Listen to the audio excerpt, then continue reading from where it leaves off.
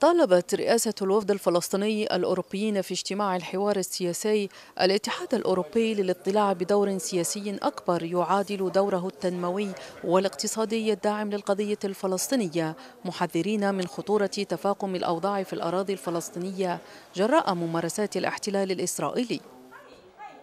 نريد من الاتحاد الأوروبي أن يقوم بدوره في تنفيذ أيضا طلب السيد الرئيس باتجاه عقد مؤتمر دولي للسلام وتعزيز المفاوضات من أجل إيجاد حل عادل وشامل للقضية الفلسطينية على أساس القانون الدولي. وقد آه، مرة أخرى وجدنا من الجانب الأوروبي الاتحاد الأوروبي التزاما بهذا ودعما للمواقف الفلسطينية المستندة إلى القانون الدولي. إدانة واضحة للاستيطان آه، آه، تعاطف كبير مع مواقف الحكومة الفلسطينية دعم لمناطق سي دعم للوجود الفلسطيني في القدس الشرقية وأيضا العمل من أجل إيجاد مشاريع في كل هذه المناطق ودعم الوجود الفلسطيني فيها.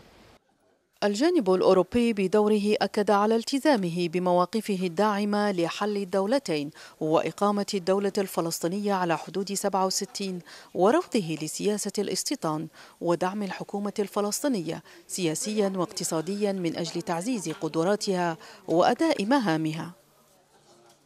The European Union and Palestinian people, Palestinian Authority have a very strong partnership. We are committed partners and we are committed to continue supporting Palestine in the, in the state building.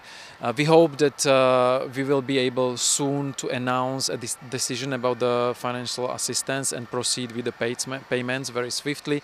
Now this is subject to internal adoption procedures within the Commission uh, which are ongoing and as I said we hope that we will be able to make an announcement very soon. But let me repeat, European Union is the biggest donor to Palestinian people, to Palestinian Authority, and we are committed to continue in this way in supporting Palestinian people.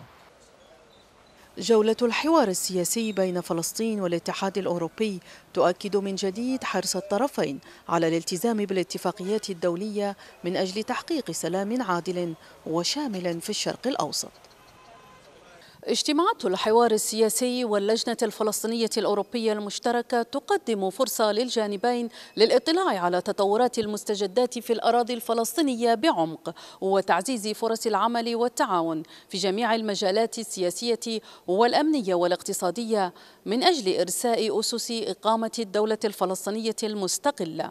من مجلس الوزراء الأوروبي نور الهدى محمد. تلفزيون فلسطين بروكسل.